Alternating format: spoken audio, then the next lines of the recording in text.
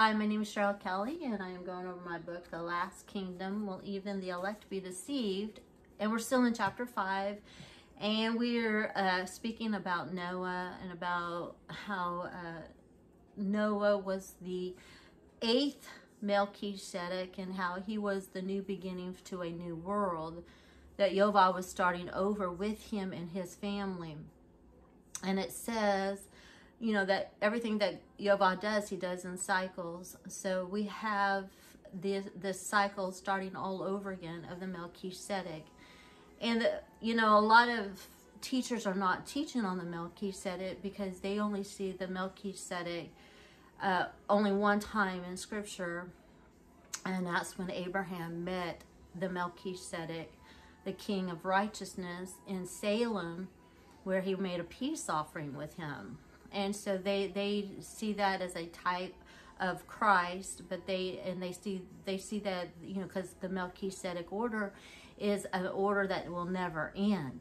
It's an eternal order. Mm-hmm. And so they see that this is a type of Messiah of Yeshua, which it is. It's an office, you know, which Yeshua it will it holds this office now, and he because he is of the order of Melchizedek uh, it's in a heavenly order, it's an eternal order. Mm-hmm. But to reconcile the earth back to the heavens, there has to be a priest or someone that represents and fills this office that brings reconciliation reconciliation between heaven and earth. I mean, there's someone that's got to stand in proxy, and that has to be a man. Mm-hmm. It has to be someone that of the human race. It can't just be some an arbitrary person or creature or God him or God Himself in spirit form to mediate because He gave this mediation to man. He gave it to Adam. And, and like I've spoken before, Yoval doesn't deviate from a plan. So when he made Adam his husbandman over the earth, his and gave him dominion, and and Adam stood in proxy for the earth and mediated creation just because he advocated that authority and that power doesn't mean that uh, Yahweh has deviated and said, "Oh well, that's it's you know he he forfeited, so let's just let's let's turn aside and change my plans." No, he never changes. He's the same yesterday, today, and forever. So he never changes. We may change. We may deviate. We may not be, we may get off course, but he always will have a remnant. He will always have a man that will stand in representative of him and of heaven because his desire and plan is to uh, to be one house just like adam was created one house for Yovah adam and eve that he could impart his word in or his seed into and that they could expand in the earth, it has not changed. So, but we know that Yeshua came from heaven, but he came as a servant. He mm-hmm. came as a man. So he was completely, fully human, but in his blood, in his, uh, he was the only begotten son of the Father. So he came forth from the Godhead that made him a God man. He was 100% God and 100% um, human. To be able to reconcile the humanity back into this right status with Yovah. He had to he had to come in the likeness of man or in the likeness of Adam to be able to redeem humanity. But because we're all in the same boat of sin and death, that it has got into our our vessel and into our our being, we are corrupt and defiled. We uh, we have to have uh, a, a, representative that is not defiled, that knew no sin, that that kept himself pure, that is pure and has kept himself pure. You know, he this blood has to be without spot, without wrinkle, without any kind of defilement. And as we see in this Passover season that everyone was celebrating Passover, the lamb that represents Yeshua is the spotless Lamb of God. There cannot be any any blemish, any defilement, any anything that could uh, that could uh, that that could anyway mark him as being the holy representative the holy representative of God because only pure blood, only holiness. Without holiness, it is it, you cannot see God. God is holy, and He will not allow unholiness to be in His presence. There's got to be a representative that is holy, that could that can stand before God, that can stand in our place, that that we we are gathered into him. He is our representative. He is our mediator. He is our he is our high priest. He stands as a veil to cover our sins to so that when Yovel sees us he doesn't see our our unrighteousness. He doesn't see our sin. He doesn't see the the the where the serpency has and sin and death has come and corrupted our vessels. No he sees yeshua's blood that's why the blood has to be uh, applied to our hearts and to our soul. And you know, I like how uh, Bill Cloud was, was saying that the blood was uh, that that the blood was applied on the inside of the house, where it on the that it's because it's an inward work. And I thought that was a good revelation because the when the death angel passed it was you know it passed over there the house that had the blood that was applied on the doorpost. But it wasn't visible for all the egyptians or for all the world to see because it was a hidden inside the house. Only the family members only the people that were inside the house knew that the that the lamb's blood was over their doorpost. And so this shows a, a very significant type and shadow that this is an inward work. This is a this is a blood that is applied upon our soul and and, and, and inside our vessel and inside our house. Because this is the house. We are the temple of the Holy Spirit. We are a we are we are our body belongs to to uh, him to the to God and it's not of our own and God is repairing the breach. He's repairing the the the defect because we are the fallen tabernacles of David.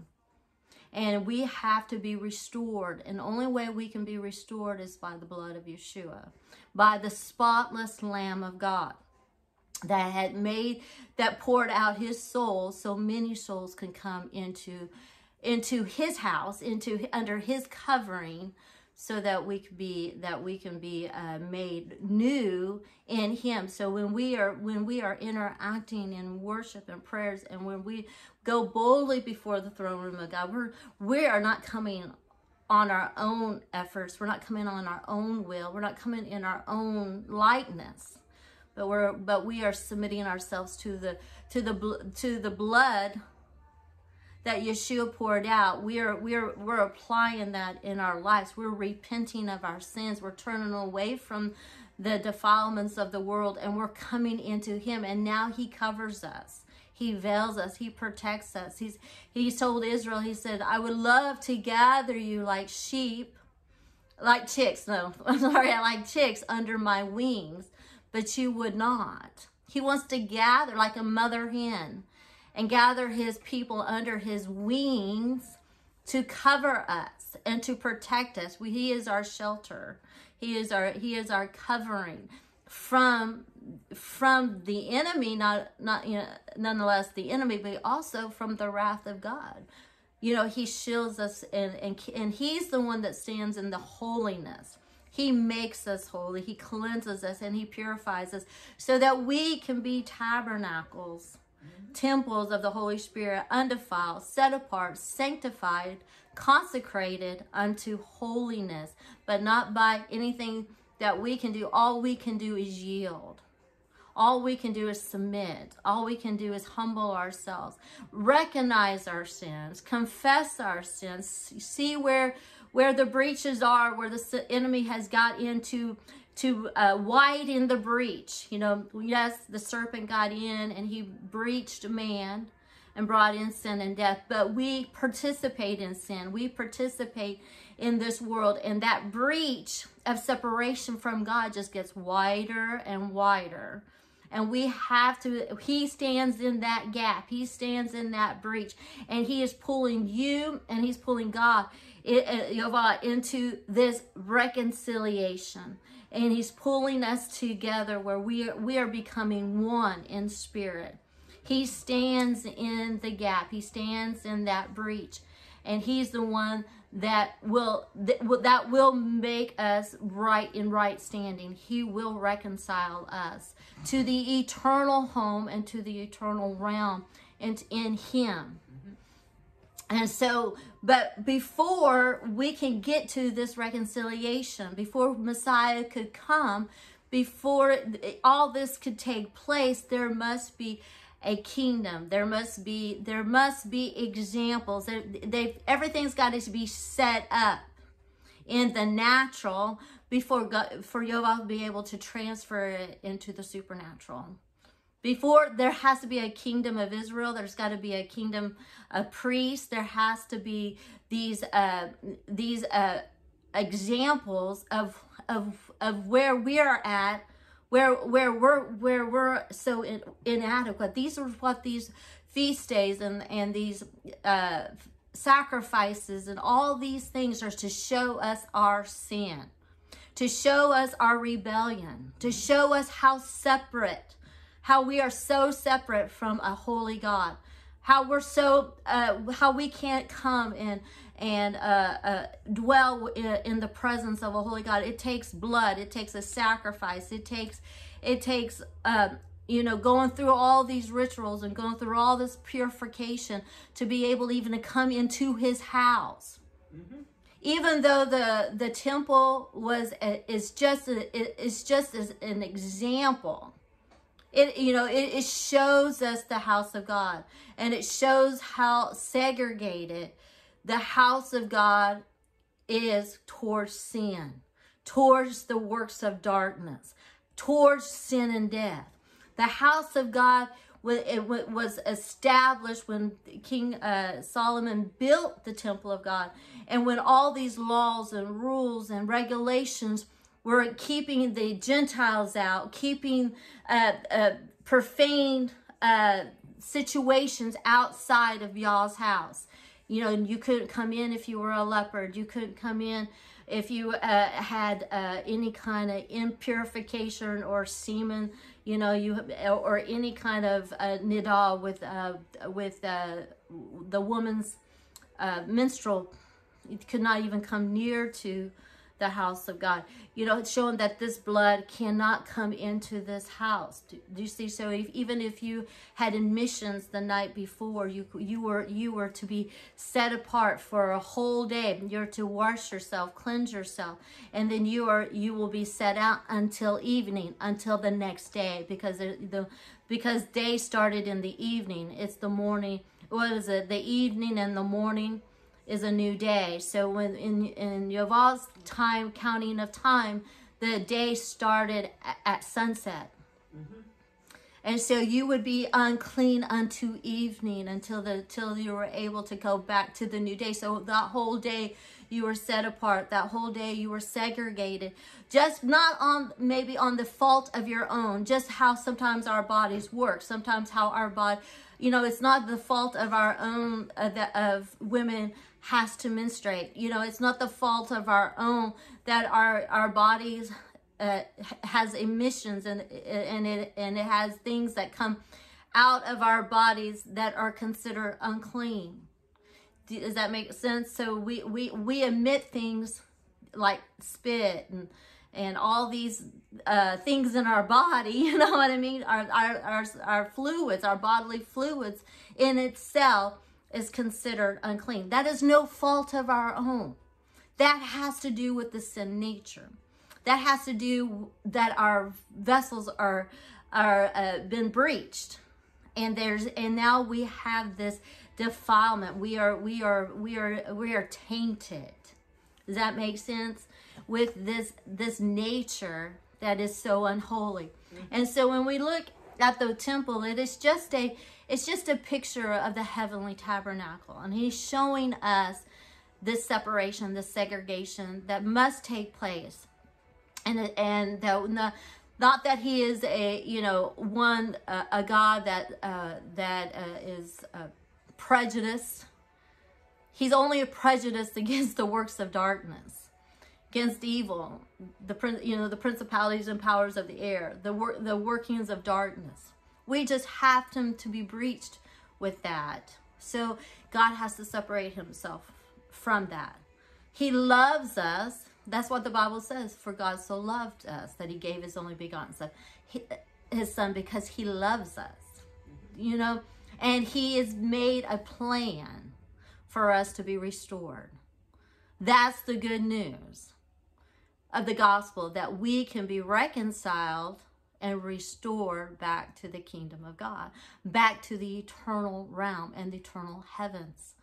Because this is all going to be perishing. It's all going to be done away with. So God is looking to cleanse your soul, cleanse your mind, cleanse your spirit, to make you new, a new man, born again of the spirit, so he can receive you back into the eternal realm. That's that's the plan of God. So, but anyways, to start, we're so we're starting in the beginning. And so in the beginning we are learning and we're and we're we're following the patterns in scriptures that show us and teach us how to get restored back to the heavenly realm, how we can be undefiled.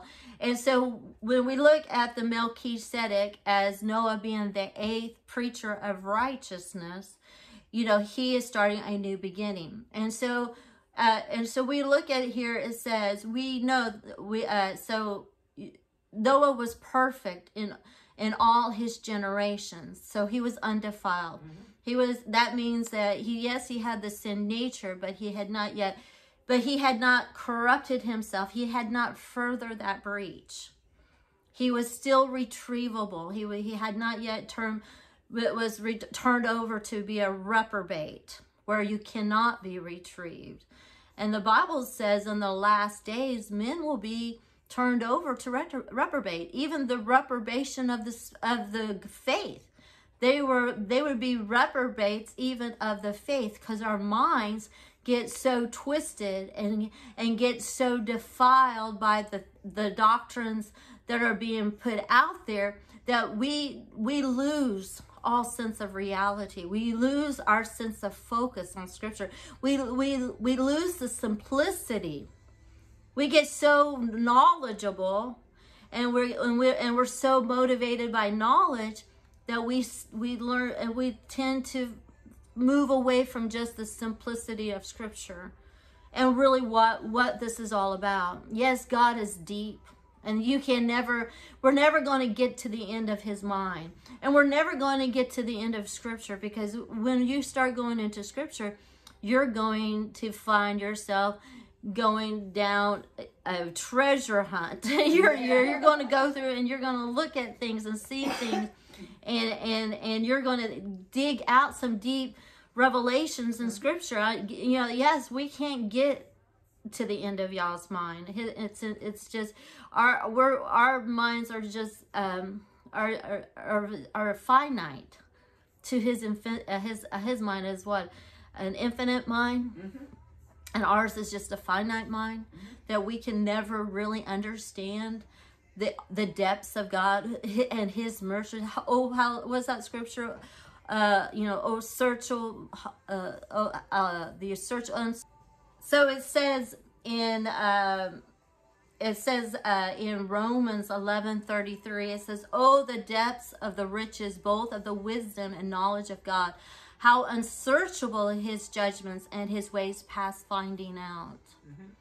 Uh, it says, The heavens for heights and the earth for depths, and the hearts of a king is unsearchable, which is Jehovah as King of kings and Lord of lords. Great is the Lord and greatly to be praised, and the greatness is unsearchable. Right. That's a beautiful scripture. Which does which does great things and unsearchable marvelous things without number. These are some of the, you know, some of the related verses to that. And in Ephesians 3 8, it says, Unto me, who I am less than the least of all the saints, in the grace given that I should preach among the Gentiles the unsearchable riches of Messiah Yeshua.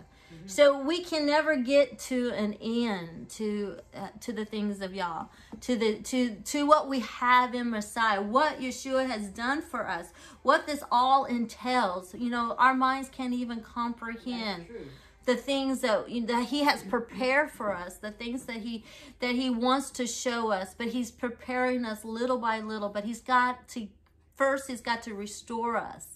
He's got to mend us. He's got to he has to got to cleanse us. So he that and he's got to get us through testing so that we're not lifted up in pride. Right. We're not lifted up in in knowledge but you know we want to know him on such a personal level.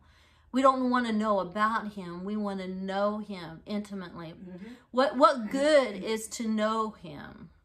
Know the word, know scripture, you know, to be wise in all things concerning scripture, but fail to have an intimate relationship with with him never to experience his presence never experience his goodness never really to experience uh, you know, his his power inside of you.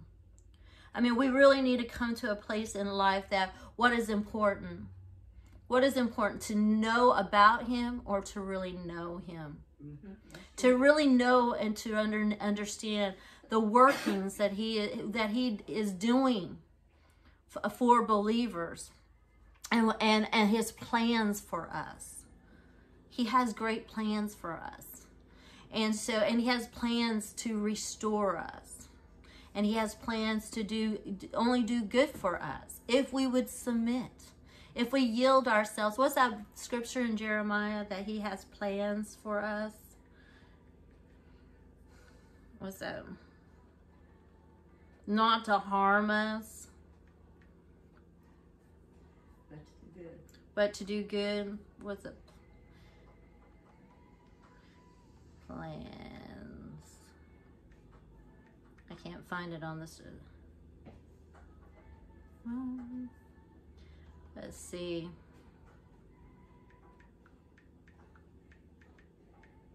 Sometimes these things don't work out, you know, as you put words in there. It says, uh, Jeremiah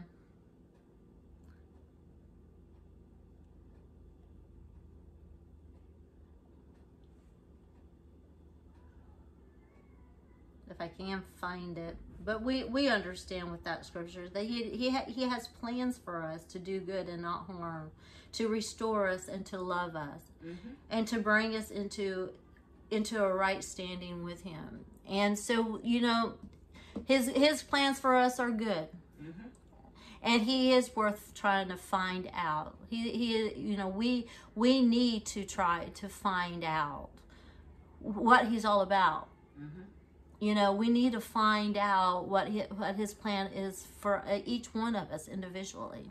We need to find out what his plans are for the world and how how he wants us to separate from the world and how we can get aligned so we're not deceived. So we're always on his side and not on the enemy side and we're not being swept away by false doctrines and, and lies and and how the enemy wants to sway us in the wrong direction. But we need to be anchored in God, anchored in Yeshua, and fixed on Him because He's the only one that's going to lead us in these days of darkness and the, in these days that are when everything is so so obscured and so and not really anybody has a, a, a a finger or you know, on the situation. Right. Everybody's er, er, uh, have different opinions, and we really have no way of knowing what to believe anymore because there's mm. just so many, so many negative and false things out there that are that are not true and and we have to, and we have to understand that, that that's that's the game. That's the game of the enemy is to keep us in, in a state of confusion so that if when there's lies being put out there and and, and life lies and truth at the same time and you're not knowing what is a lie and what is true then you get really confused. You get really mixed up. To, uh, to pray hmm and stay in God's presence. yeah and not focus so much on the world not focus on on the outward but Yes. but, but stay consistent search him out seek his will and and long to be in his presence Uh-huh. if we long to be in his presence then how can we go wrong Right. how can we go wrong if we're in the middle of his presence 100% all the time. If our minds are and hearts are are in, in entangled and involved in him and and we are in in this state of of being in his presence how can we be led astray? We can't be. Mhm. even when our minds don't understand it doesn't mean and it doesn't mean that we have to understand it. All we know is that we hear his voice and his voice is the only voice we hear.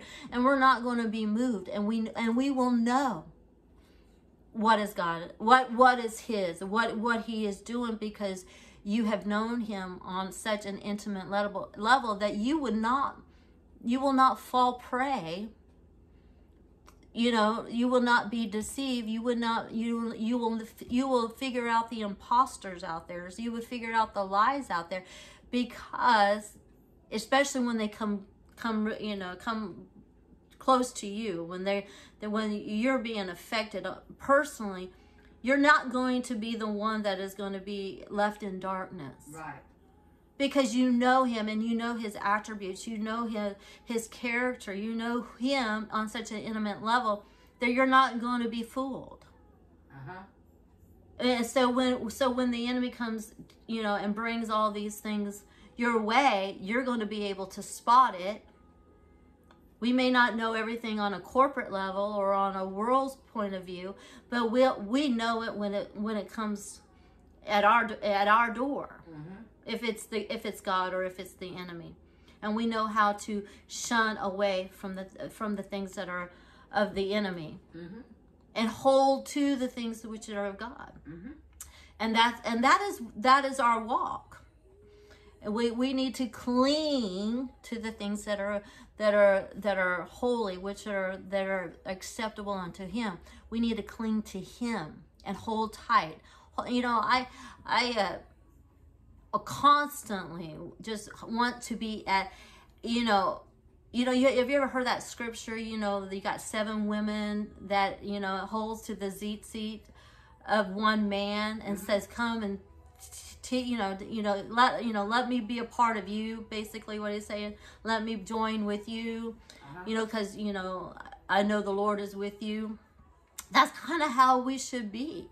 We should be wanting to be at his feet we should be wanting to hold on to his seat his his his him and and and, and not worry so much about what's going on right here out out right around us Uh-huh. and not live in the fear of this world but cling to him hold on to him you know hold on to and humble yourself and not try to figure it out on the external don't try to figure out what's going on on the peripheral but cling to him because he can't lead you astray. Right. you know learn to humble yourself. Learn to repent quickly. Learn to to humble yourselves so that you will be you you can be that person that has got a, a hand on on his on his him.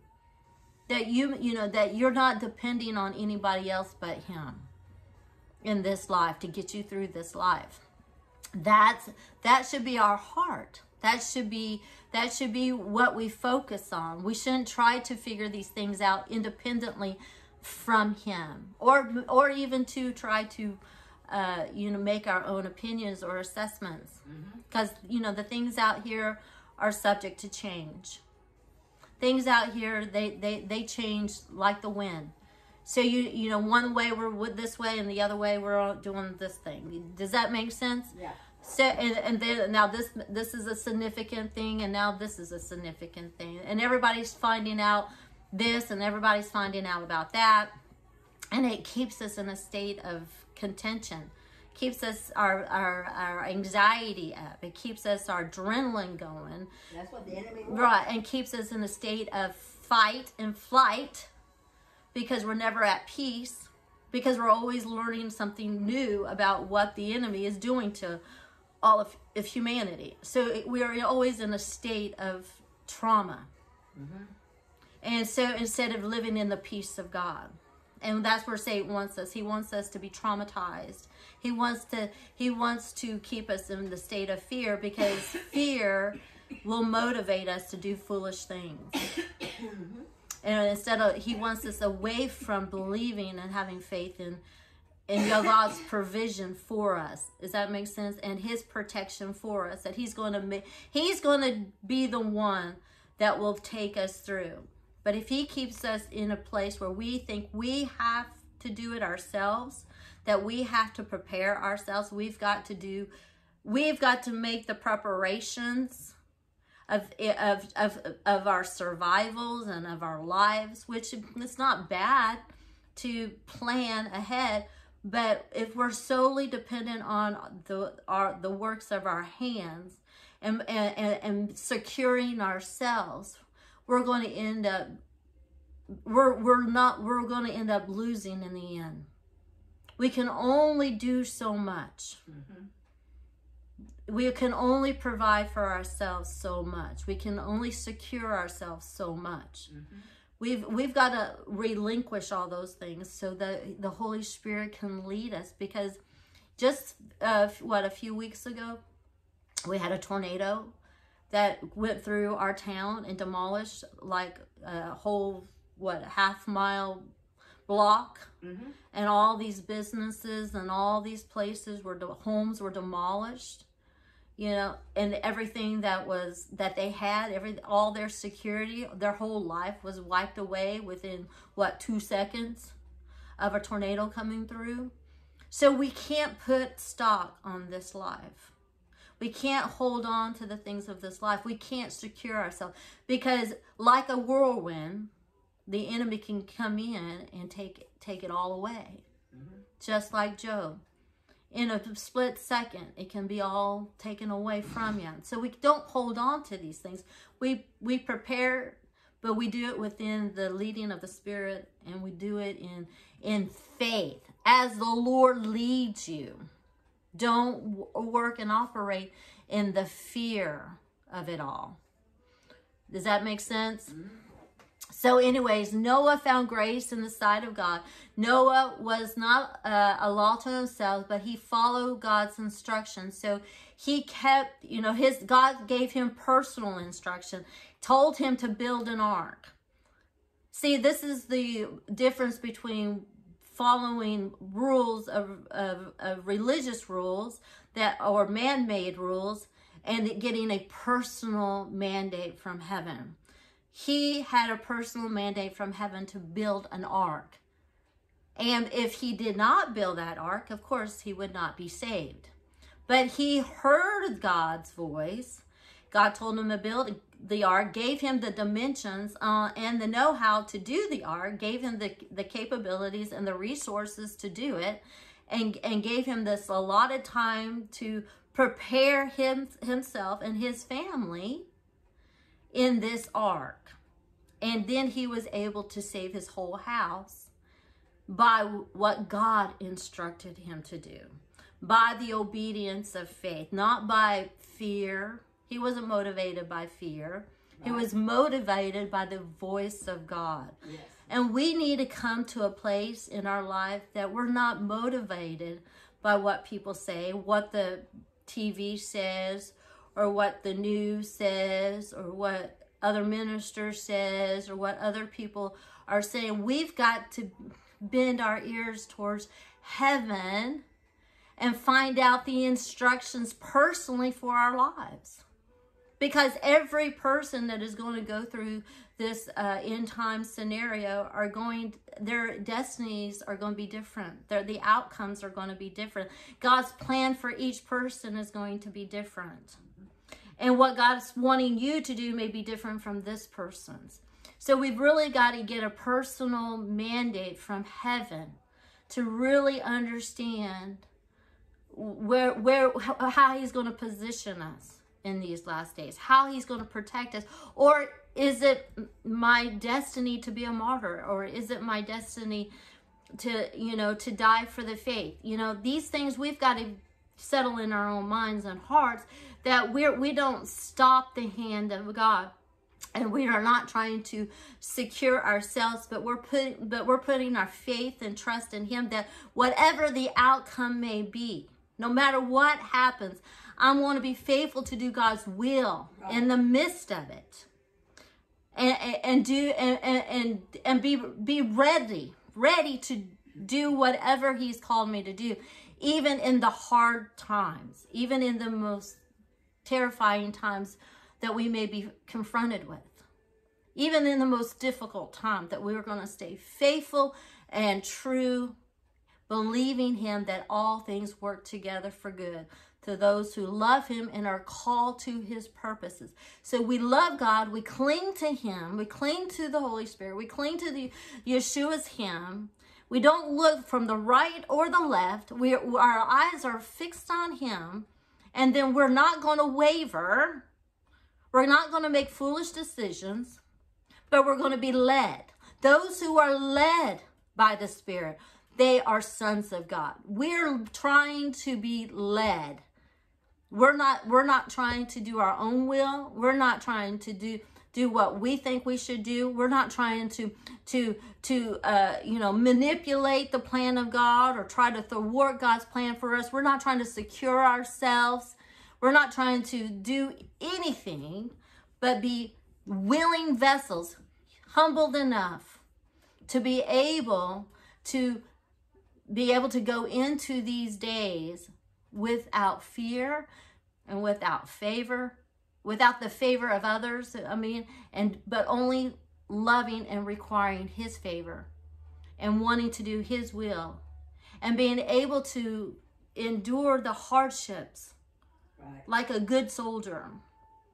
Because really, the favor we want is God's favor. Yes. We don't want the favor of man. Right. We don't want the favor that you know because that's going to give you comp- that's going to make you compromise. That's going to make you lose focus. That's going to that's going to get you off course. But if you but if you put it in your heart that you're going to obey his voice and you're only seeking his favor, you're only seeking his will. He is not going to he is not going to turn aside from that. He you're going to also you're going to bend his ear towards you. And he's going to be faithful. Isn't that true? He is going to be faithful to those who desire and seek his favor. His approval.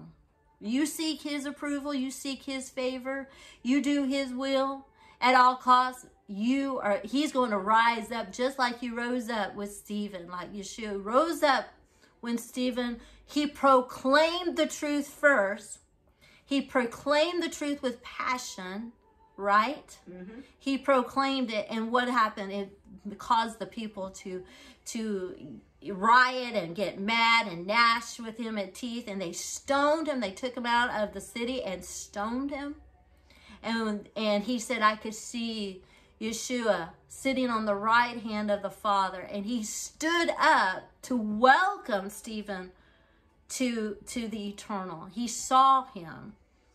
See, he wasn't thinking about the pain of being stoned. He wasn't thinking about what his own family members, his own brethren, his own, you know, his these are his people that were killing him for the if, because he believed in the Messiah Yeshua, and because he chose to, to, to with passion to preach to them the truth.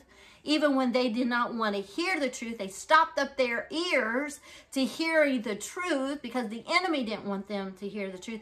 And because of their anger and their violence towards him to try to, to shut him down, you know, he was able to see beyond the physical and he was able to see into the eternal.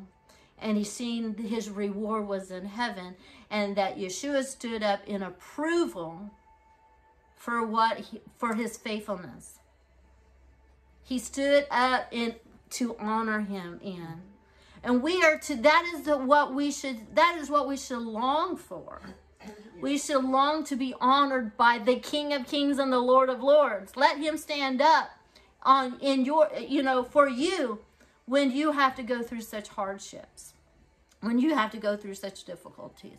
Let him let him show you that he approves of you. Just like Paul says, you know, you know, my departure's at hand. But there lays before me a crown of life. He knew his rewards. He knew his rewards were not going to come down here. His rewards was not going to be down here. His rewards were going to be the eternal uh, rewards of heaven.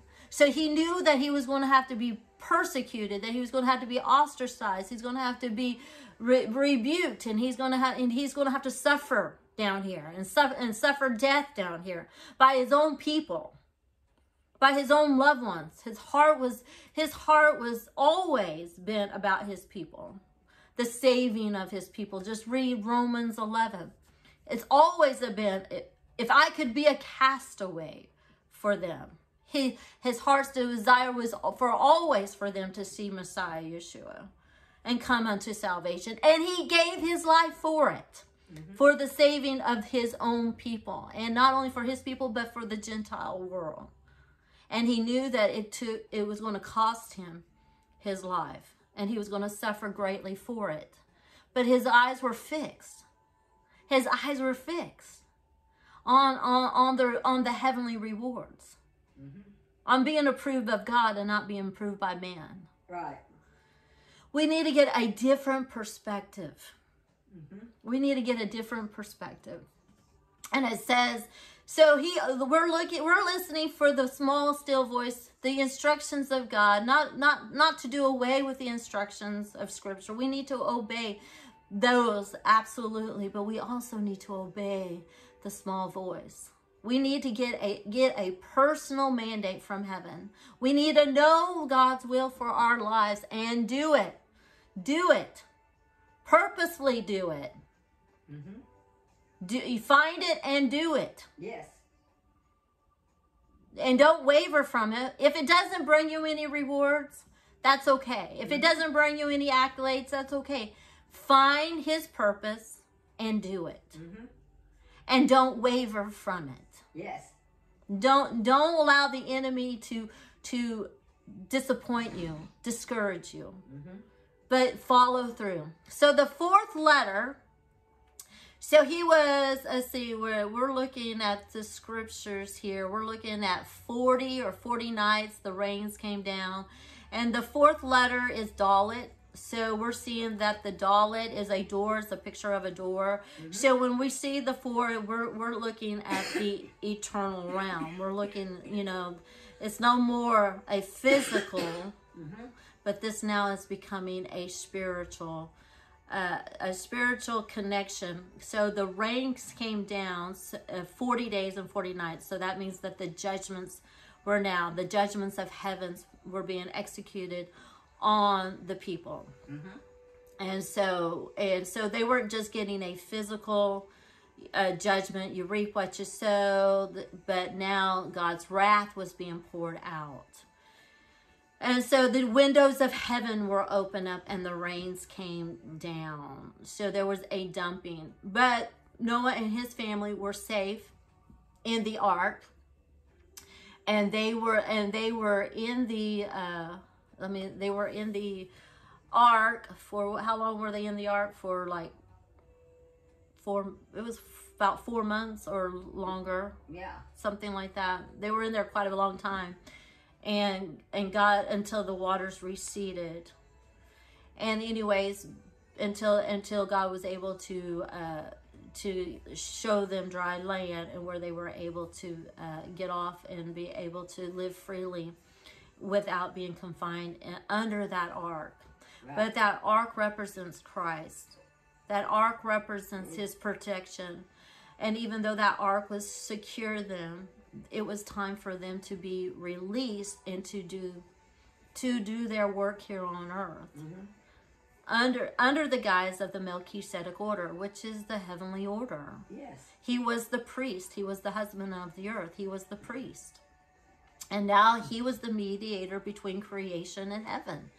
So, anyway, so the six, uh, so, anyways, we were going to look, so, uh, let me go back. So, so the fallen, so it says the sixth letter, let me go up a little bit.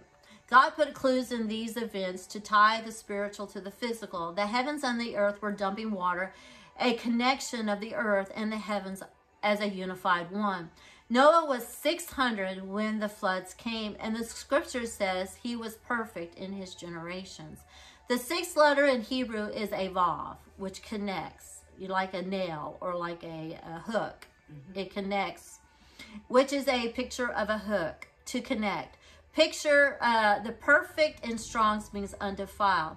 We all know that Noah had the fallen sinful nature like Adam's lineage.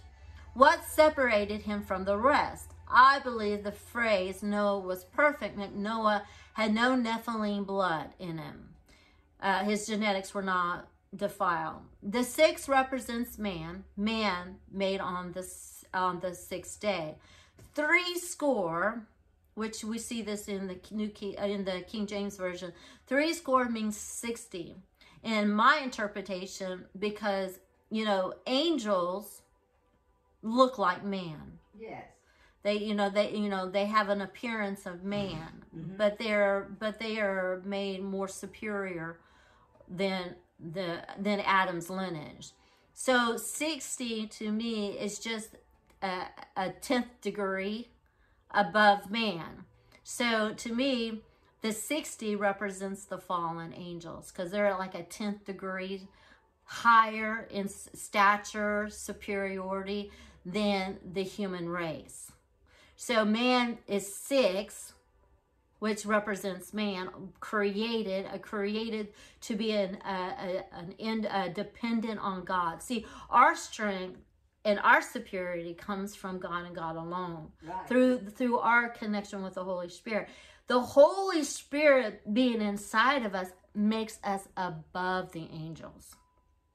That's why we have authority over the angels because we are in over demonic realms because we have the power inside of us. We are connected with you know we're we are been made to house the Holy Spirit we are made to to uh, to be this uh, tabernacle for the Holy Spirit. So the power of the Holy Spirit resign, residing in us makes our makes the power and the authority uh, inside of us when we speak in the name of Yeshua.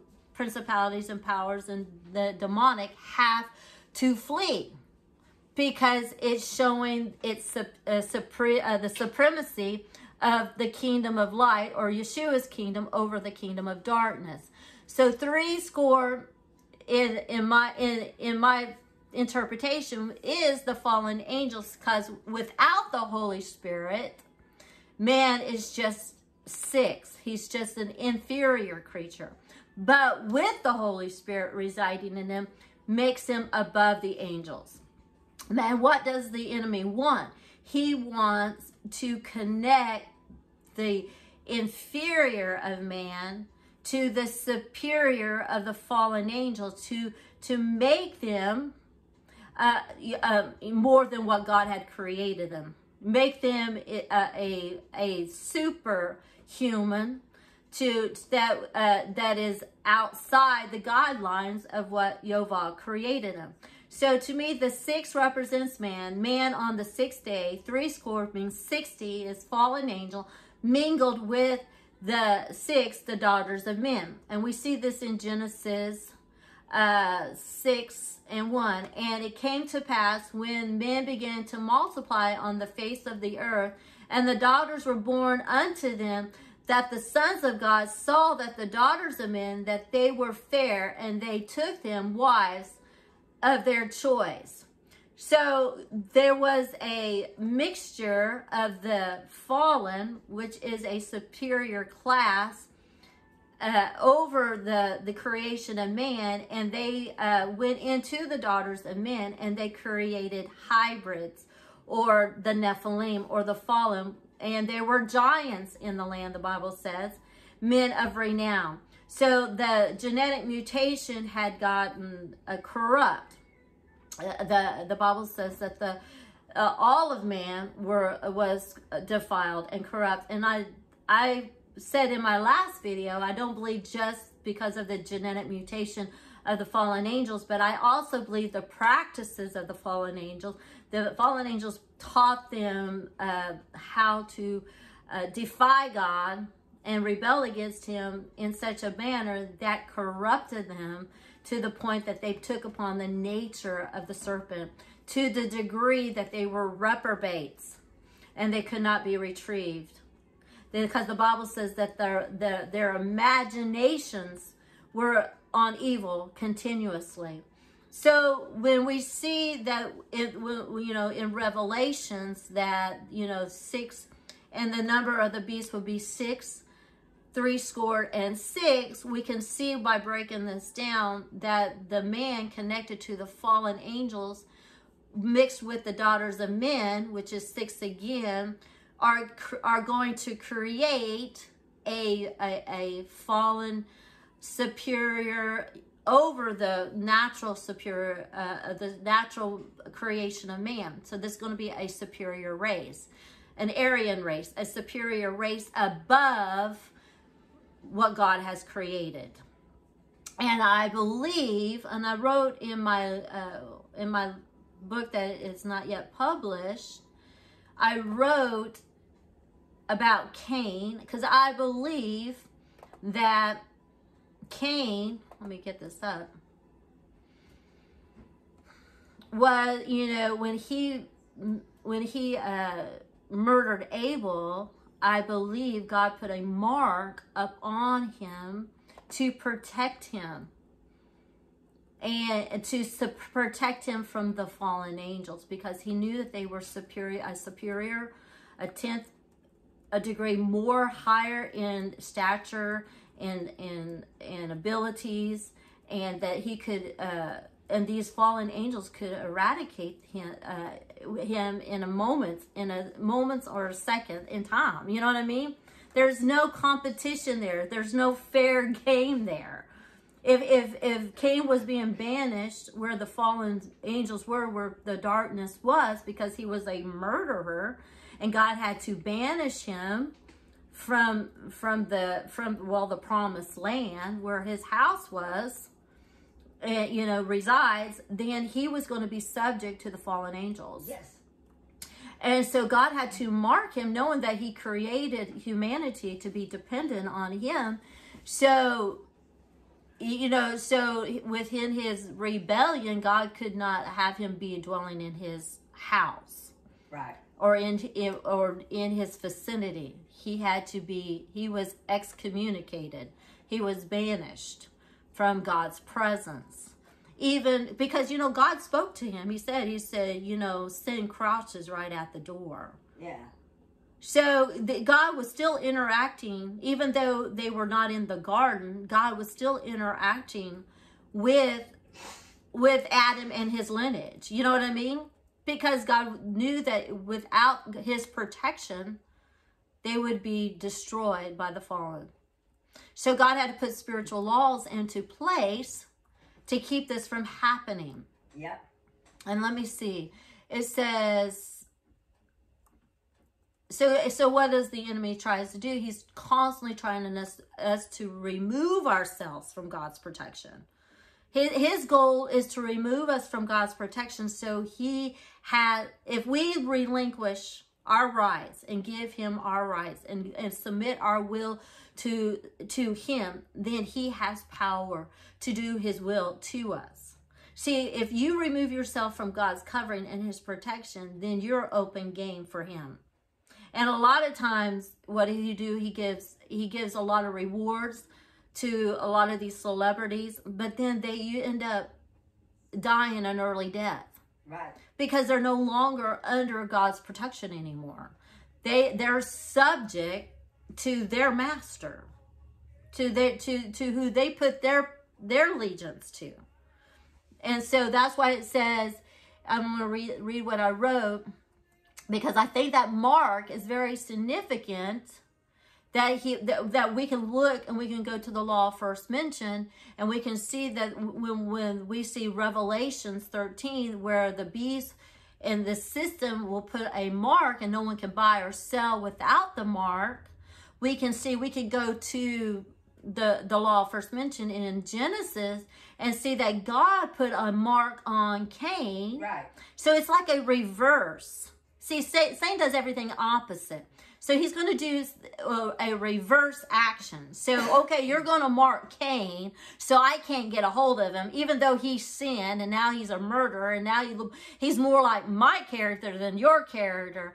But you're going to protect him. And anybody who touches him, I will destroy seven times or sevenfold. Anyone who touches Cain, I will I will destroy sevenfold just because he has this mark. So what is what is Satan's going to do? Well, okay, well you want to play that game? I will remove them from your protection. I'll remove them from you of of, of your uh, capabilities of of providing for them and, and taking care of them and being their shield. I'll remove them from your covering and I'll put them under my covering. And when I put them under my covering, I can do it as, as I will because they has submitted to me as their master, and now I can destroy them at my discretion, at my will. Because it's no more longer. Yeah, and so I'm going to have them mark themselves in loyalty to, him. to, to him so I can do whatever I want to them. Now they're my slaves. They're subject to me and I can do it to them as will. When I'm ready to destroy them, I can I can shut them off in a moment's notice. I can obliviate them. I can I can I can eradicate them because they they're no longer your creation. They belong to me. Do you see the difference? So it says it says uh, humans are created with spirits which depends on Yahweh to receive from the kingdom of heaven or the tree of life. Angels were created independent from the tree of life with uh, eternal celestial bodies. We're we're we're uh, what are we? We're uh, we're extraterrestrial or uh, we're terrestrial and they're extraterrestrial, I guess you could say, or they're celestial, and we're just physical human bodies. I don't know all the interacts, but we're terrestrial beings, so we belong in the physical. We don't have these supernatural capabilities. No. We don't. Ha- we're not capable to fly, or we're not capable. That we don't have this mighty strength in us. We're not able to, we're not even comparable to the celestial bodies or the celestial beings.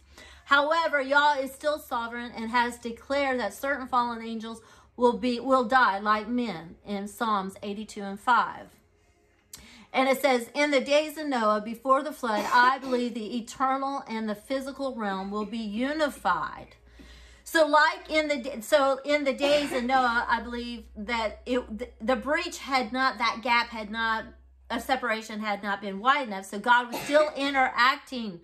Not only was God interacting with man, but the fallen angels were also had their access to the man, even if they came down on Mount Hermon or what, however they came down or how they appear, they still cohabited with man. They still had the, they had ways of uh, of being here with man, and a lot of times with the uh, you know with the pre-Adamic nature, they a lot of people believe that uh, that that there was that's where they were banished. They were banished here on earth, and they were living here on earth because the, the Bible says that the earth was full of void and full of darkness. Mm-hmm. You know, so they were already had their uh, connections with the earth. Right. Well, that's what I'm saying. So when God created man, He created them in the in the garden or put them in the garden of His house of His protection.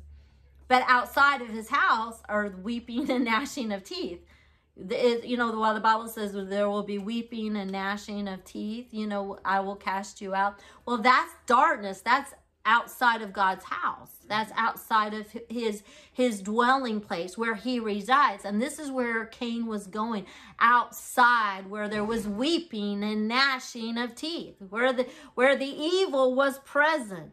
But it was present in this physical realm. even though they were metaphysical, supernatural. That's where we get the the uh, the heroes and the gi- and the giants, or and even the um, superheroes, or the or the mythology of all these gods. You know, the uh, where mankind, you know, came up with these concepts of of of the of the gods of the earth or whatever of mythology. So, anyways, so they were able to cohabit with mankind. At that time, the conditions of the earth supported both human and celestial bodies. After the flood came the separation of celestial beings from the natural temporal beings was that gap got so even further. So God's house and the spiritual realm and the physical realm, there was a a veil divide, uh, where it was a divide. There was a, huge separation now that it wasn't going to be easy for these beings to be able to cross over to this realm easily. So so God put a trap or he put a protection for man so man can multiply on the earth. Uh, uh, protected and, uh, and without the interference of the fallen, where they're not, they don't have access to man. This was after the flood, though.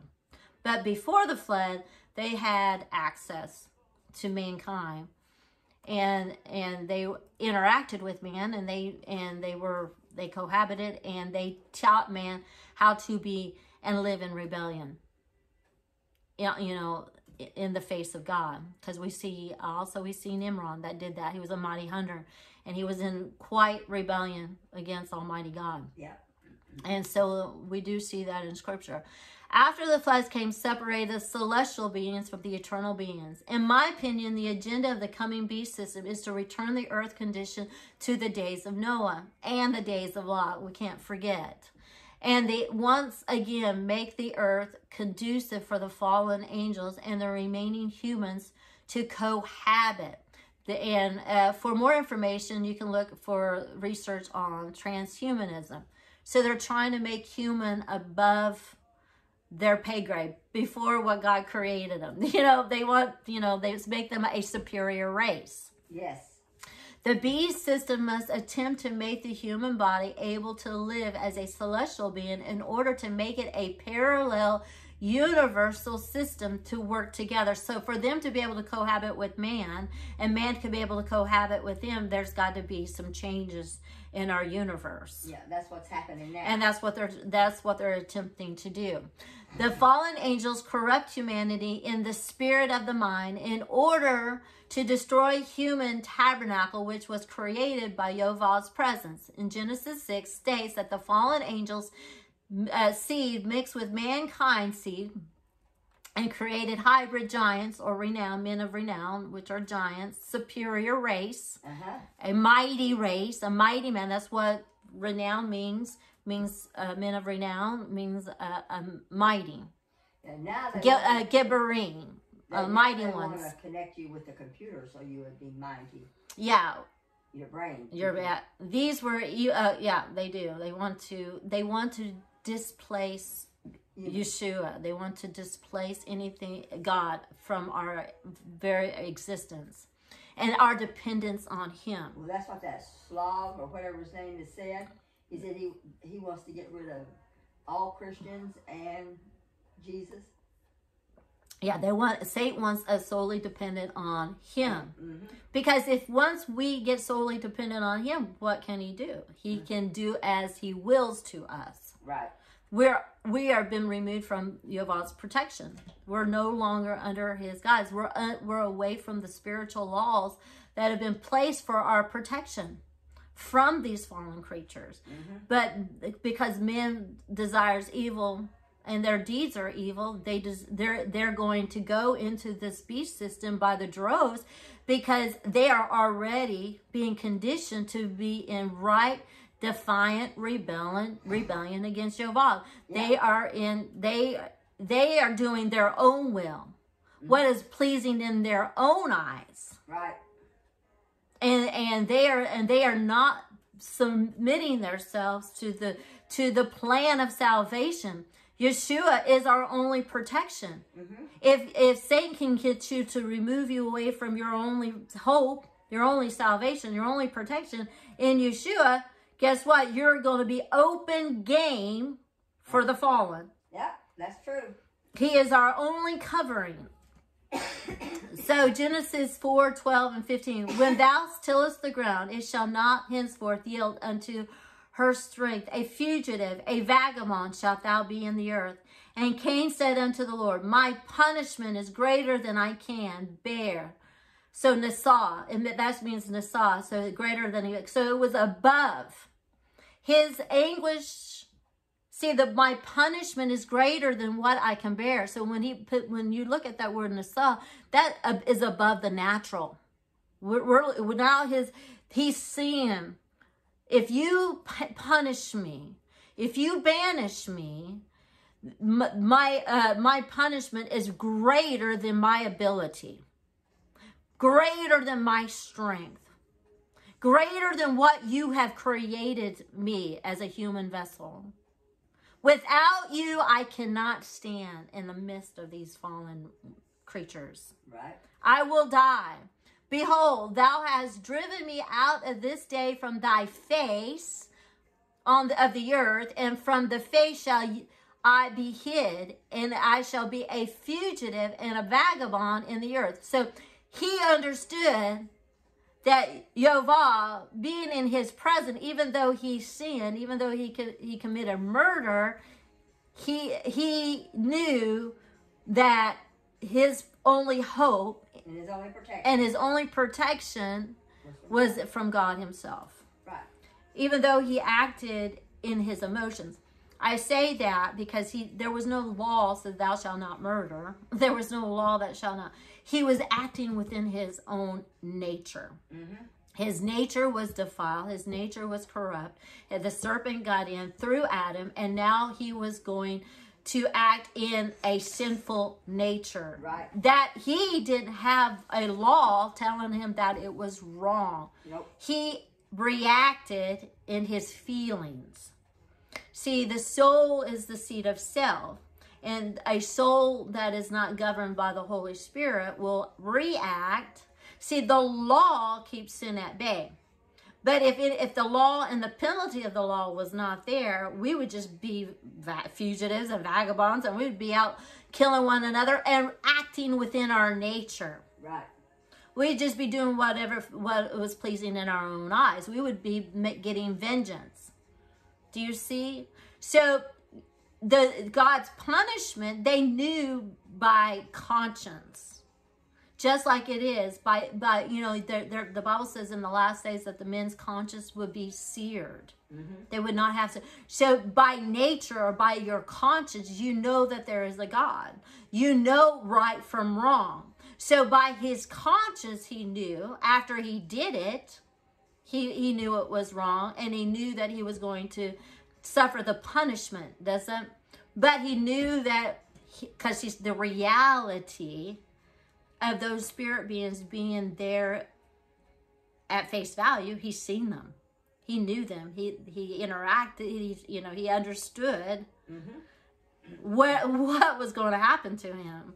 See, we don't have that privilege to understand that what lurks in the darkness. We don't see the evil unless the Yovah or the Spirit actually allows our spiritual eyes to see. We don't see what lurks in in the darkness what's out to destroy us what's what's what is hanging things around to kill still destroy because he's protecting us from that he has shielded us from that spirit realm yeah. but if we knew some of the things that we do say and, and the sins that we commit if we knew the spiritual implications and if we actually seen the presence of darkness we'd be more apt not to behave in the way we behave. We would understand that the the enemy is there to kill, steal, destroy, destroy but he may not destroy us physically, but he is destroying us on the inside. He's destroying us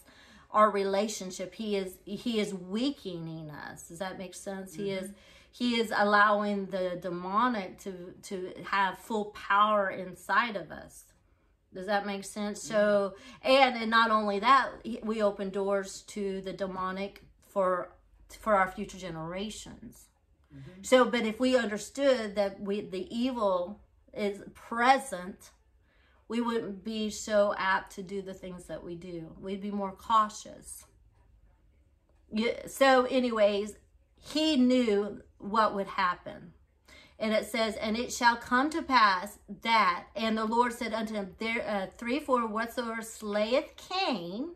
So, uh, you know, Yovah, the, the, the Spirit of God, spoke to the universe, the principalities and powers and rulers and all the, the, the, the host in heaven and in the earth, said, if anyone slayeth Cain, because this is an unfair component to to being an inferior creature creation of, of Yovah, that anyone shall take on him or tried to slay him, it says, vengeance shall be taken upon him sevenfold. Now, that means that if you try to destroy him or slay him, now you're going to have to deal with me. Yovah said, you're going to have to deal with me and nobody wants to deal with him. you know, I don't want to deal with the the fear of God was upon everybody. Do you see what I mean? Uh-huh. And it's still, you know, Satan is limited, and the kingdom is of darkness is limited. That's why they have to use deception. They have to be, de- de- you know, use the, the the a evil stealth way of coming to us and seduce us and bring us outside the covering of God. Because if you are God's and you are and you've been sealed with Him, then you're not. And the Bible says, "Vengeance are mine," saith God. Then you're going to have to deal with the Almighty God, and even Satan knows his limits. Even even he knows he has to get around that. Yes. He has to get around it. Yes. And it says, And the Lord set a mark upon Cain, lest anyone finding him shall kill him. In my opinion, after Cain slew Abel, Yah marked him, marked Cain, in order to protect him from the powers of the fallen. Cain was an inferior creation in comparison to the celestial realm. The banishment removed Cain from Yah's protection, and he could not hide no more under his covering. So he was without a covering. He was naked. He didn't have the clothes, uh, garments of, uh, of of Messiah, or the, you know what I mean. That's what that we are in Messiah. We are clothed in Him. He didn't have that that veil, that protection. You know that that you know, that is provided for us. It's so so good because when we see this this veil, this covering, it's like a father. You know that that is covering his children, protecting his love, his his his love for his children. His he wants to protect. He he's acting. Yovah is acting in the realm of a father. You know, uh, you know, wanting to even though he sinned, even though he, he, you know, the disappointment of that sin, he still loved Cain enough to want to to, per, per, to provide protection. Even in Adam's lineage, even when Adam sinned, he was still interacting with them. He was still trying to be a father to them. Mm-hmm. But they can only go so far. They can only interact with so far. There was a breach, there was a separation. But he still was acting knowing that they were they that they couldn't help themselves. Knowing, you know, that they they couldn't live in this life without him. Mm-hmm. He just didn't forsake them That's all what I'm trying to say. He didn't just leave him. And even when Cain fell in some of the, fell into this, you know, this this sin that is, you know, that, that took a righteous man.